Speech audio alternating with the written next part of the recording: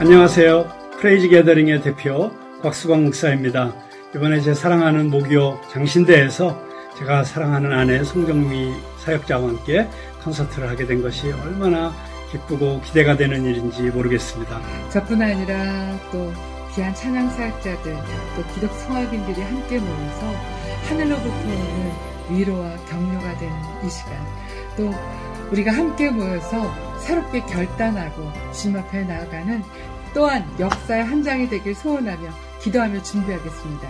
그날 만나 뵙겠습니다.